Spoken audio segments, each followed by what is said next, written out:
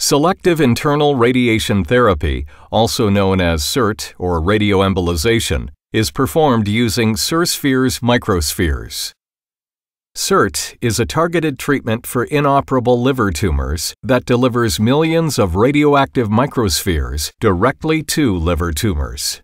The implantation of microspheres takes advantage of the fact that the normal liver parenchyma is primarily supplied by the portal vein, while the hepatic artery is the primary blood supply for liver tumors.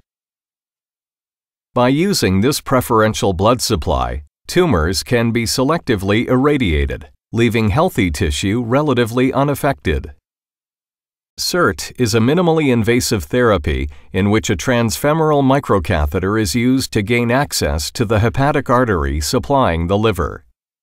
After mapping the hepatic arterial system and isolating the hepatic vasculature to prevent the deposition of microspheres in the gastrointestinal tract, the microcatheter is advanced into the position from which the microspheres will be delivered.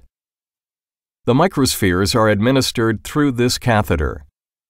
Administration should be conducted in a slow and deliberate manner to reduce the likelihood of early stasis and retrograde blood flow.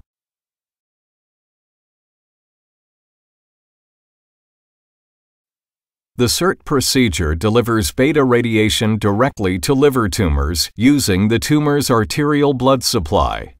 Microspheres are targeted directly at liver tumors via the hepatic artery, so exposure to the remaining healthy liver tissue is minimized. The microspheres average 32 microns in diameter, which is small enough to flow through the hepatic arteries, but are too large to pass through the capillary bed within the tumor where they become permanently implanted in the tumor. The microspheres contain the radioactive element yttrium-90, which delivers beta radiation over a relatively short distance, an average of 2.5 millimeters in human tissue. Yttrium-90 has a half-life of 64.1 hours, Therefore, 94% of the administered radiation dose is delivered in 11 days, with almost no activity remaining after a month.